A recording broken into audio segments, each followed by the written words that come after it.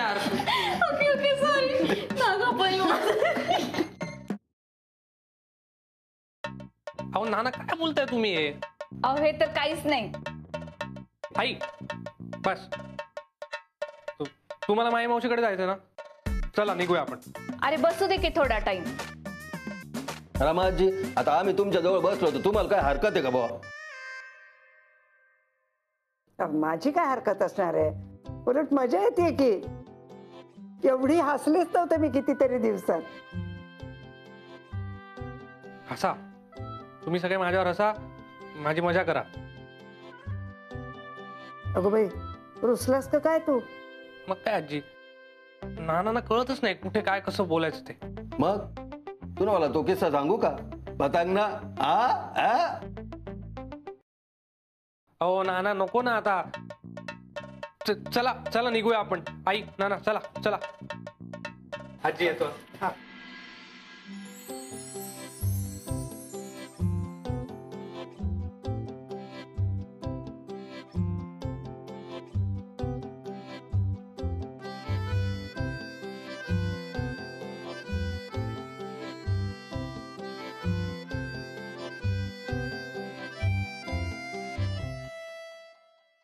किती गोड दिसतेस ग.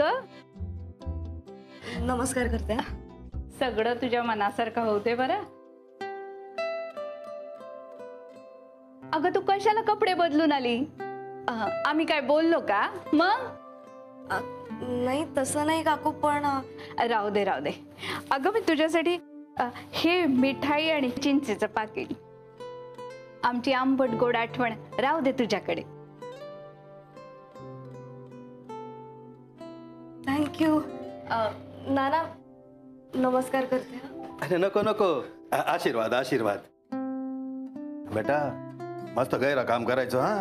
आई बापाचं नाव मोठं करायचं मोठं नाव करायचं खानदान हा रंजना आशीर्वाद घेऊन आजीचा. आशीर्वाद. सुखी राहा सुखी राहा. चला उशीर होतोय जायचंय आपल्याला.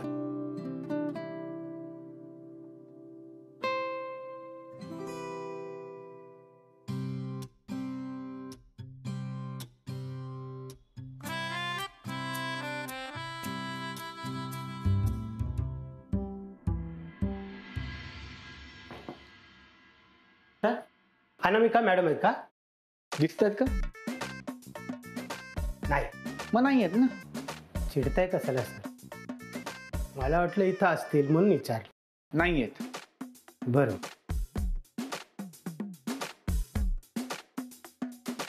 पटवर्धन येस सर अरे मी अनामिका कुठे आहेत सर त्या मुंबईला गेलेत ना अरे हो बोलले होते मला राईट राईट राईट बरं परत कधी येणार आहेत अहो सर हा एक दोन दिवस लागतील असं म्हणाले होते मला. आठवलं.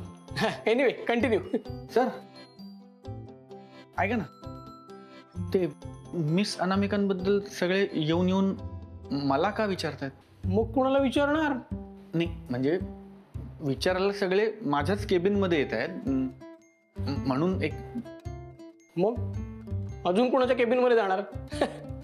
नाही त्यांचं टेबल ना बाहेर. वेगळं. त्या बसतात ना तिकडे बाहेर. अरे पटवर्धन. पण त्या बऱ्याच वेळा इथेच असतात. नाही का? तुमच्यात जी केमिस्ट्री आहे ना ती फक्त तुमच्या तुमच्यातली नाही आहे ऑफिसला सगळं माहिती आहे. मिस अनामिकांना तुझ्या केबिनमध्ये शोधायचं आणि तू नाही फोन उचललास तर त्यांना फोन लावायचा. हो सर पटवर्धन अरे स्पष्टीकरणाची गरज नाहीये रे. उत्तम जोडी आहे तुमची.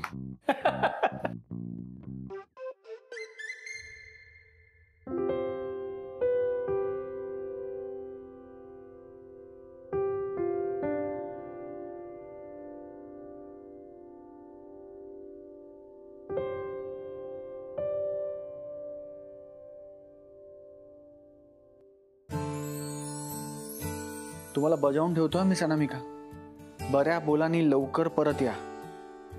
आज मी तुम्हाला जरा जास्तच मिस करतोय.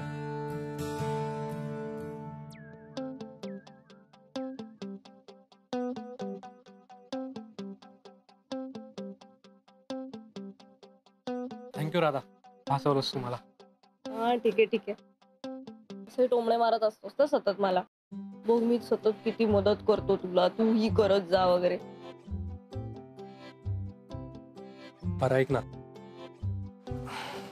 मला तुला कपडे बदल असं नव्हतं सांगायचं. का? वाईट दिसते का मी? नाही नाही छान दिसतेस. छान दिसते? हा म- म्हणजे नॉर्मल नेहमीसारखी छान दिसतेस. बर चल आई नाना थांबलेत बघ. मला ते टेन्शन आहे ग. त्यांना जर लिव्हिंगचं कळलं ना तर गडबड होईल सगळी. का माहीत का? पण मला खरंच नाही वाटत की त्यांना कळलं जरी तरी काही प्रॉब्लेम कशावरून? लेट्स जस्ट से माझं मन सांगतंय मला.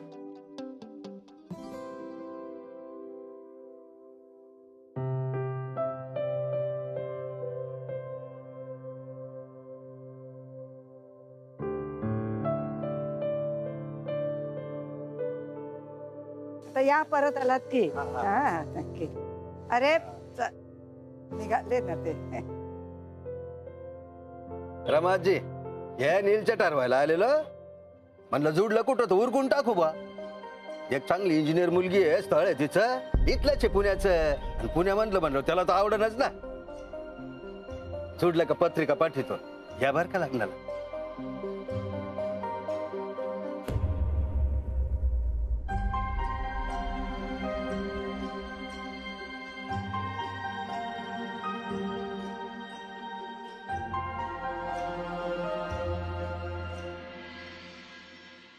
वल्ले!